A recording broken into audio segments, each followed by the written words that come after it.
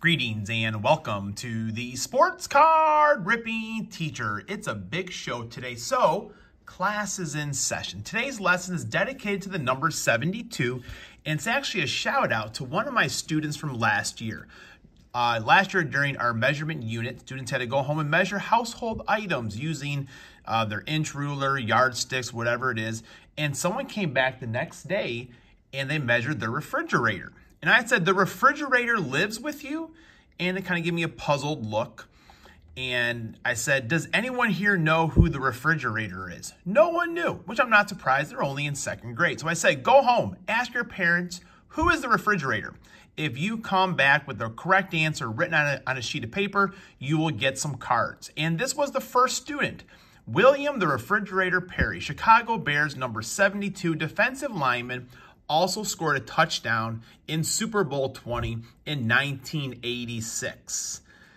Yes, he did score a touchdown. However, Walter Payton did not. That's the one thing that I do you know, think stinks. It's cool that he scored, but, you know, Walter's such a great running back. Uh, he definitely should have scored a touchdown. So that student, he got a few cards.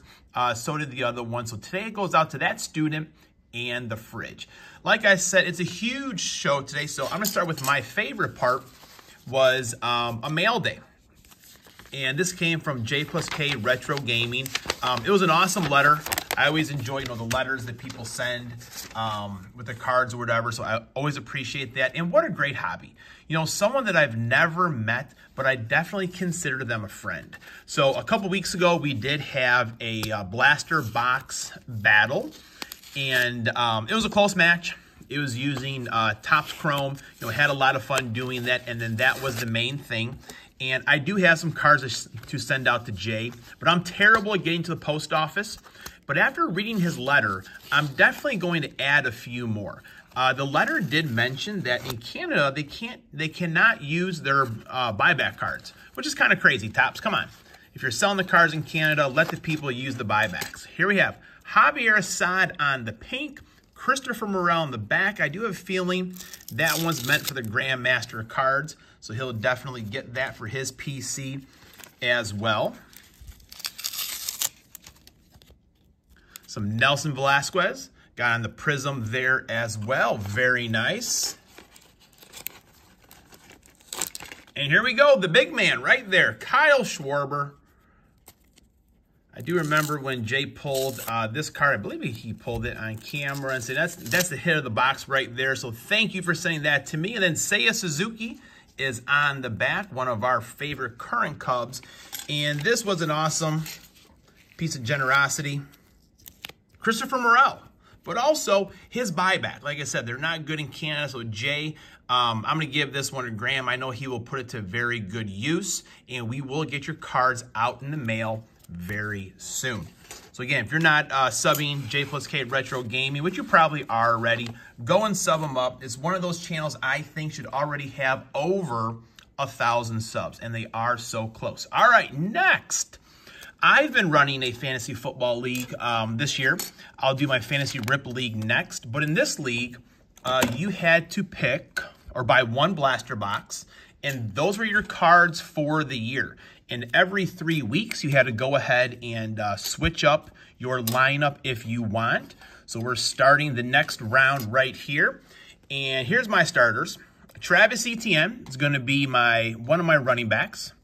Rashee Rice, going against the Green Bay Packers this weekend, will be my wide receiver for the next four weeks. And going back to Bijan Robinson, after he scored two touchdowns last week, he'll probably score none the next four, but oh well. And then finally, a quarterback, where I have a lot of decisions to make here, folks. Do I go with Aaron Rodgers? Is he coming back? Aaron, think clearly. Don't come back until next year. Brock Purdy, he's done pretty well for me this year. Dak, I said Dak was going to blow it up in November, and I was correct. They do play tonight, which is still November, so I don't know. I got Jalen Hurts. I got CJ Stroud. And one of my things with my own fantasy football teams are in the winter, that's when men are born. Keep the ball on the ground. Run the football. So I'm going to go Jalen Hurts. He'll probably get at least one rushing touchdown every single week. So that's my lineup for the Pay Dirt Fantasy Football League. Those that are in it, go ahead and send me your lineups or do a new uh, video. Doogie's Dugout, he was the winner of last session. So we're getting his custom cards ready to go. All right, Fantasy Rip League time, folks. There are all kinds of buys this week. Six teams. I remember as a kid, like, it was always like two, I feel like, maybe four. So with all those teams on buy, what I have is one Prestige Mega Box, and I've seen people do this just in case if I don't think I have enough, I do have one Mosaic uh, football pack. So I'll kind of wait to decide if I open that one or not. So this Mega Box is from Meijer, and I opened up one Meijer Mega Box last week. It was kind of a dud, which means this one is going to be fire or worse. I doubt it'll be exactly the same box, folks. All right, so I doubt between, uh, I said it last, it is hard to read these cards, so I doubt Panini made any improvements on that, but maybe next year's edition, make it a little bit easier to read for the good teacher here. All righty. Vinny Testaverde, not going to be in the old lineup. Micah Parsons, that's always a possibility right there. Marvin Jones Jr. Got the Tank Bigsby right there. Uh, Graham's high in this player out of Illinois. And a Christian Okoye, Wildcat's going to go crazy right now. Man, I wish I could have him in my lineup this week. Look at those shoulder pads, man.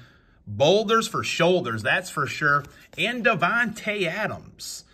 Never terrible having Davante Adams in your lineup. Let's see.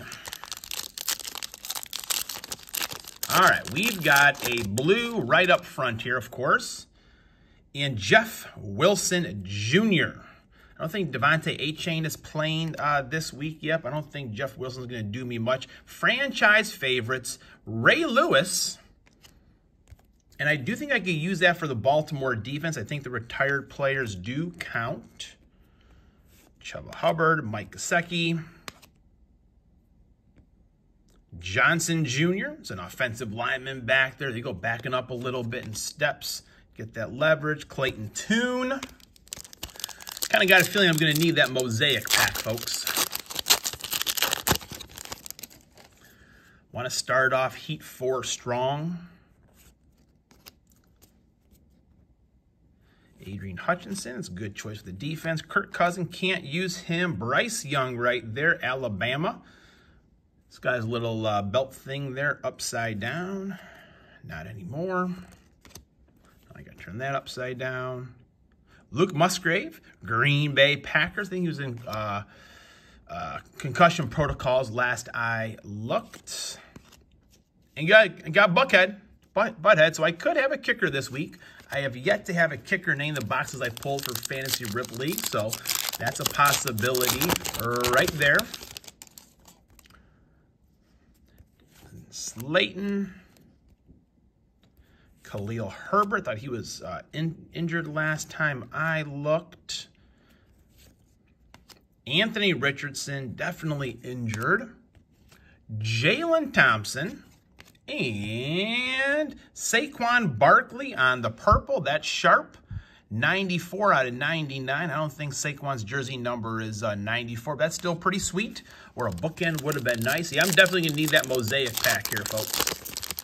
And to be honest, I probably would have opened it anyways. I mean, it's just there staring at, at me.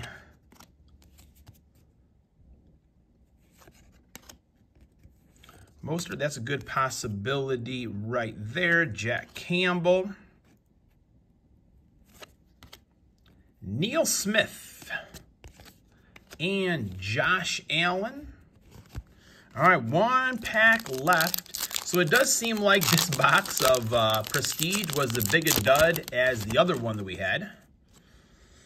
What are the odds, folks? Chris Olave, Jaden Phillips, Archie Manning, and Aaron Rodgers. All right, so we're going to open up the Mosaic pack here. I'm definitely going to have to pause the video, take a look and see what I can make out of this.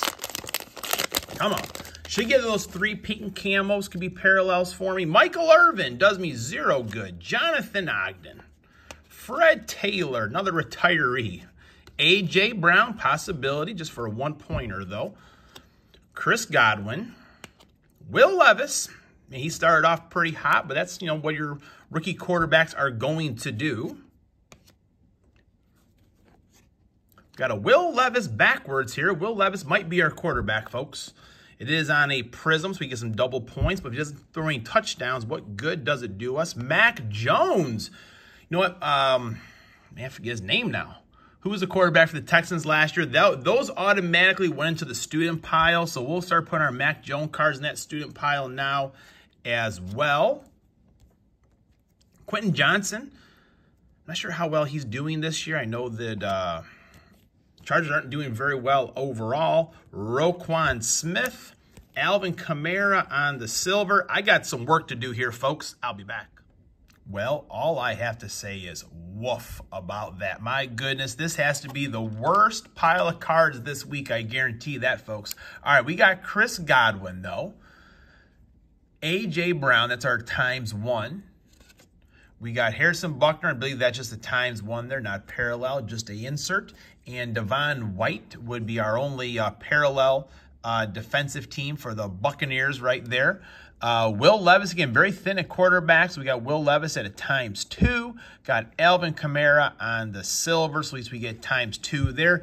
And Mike Gesicki uh, had zero fantasy points last week was either him or Luke Musgrave, and Musgrave is probably going to be out for the season for the Green Bay Packers. And then Jeff Wilson actually had a few, I think maybe about 10 carries last week, a couple of receptions there, so it is a numbered card. So we need a miracle here, folks. Could it be the miracle that we're looking for? Class is dismissed.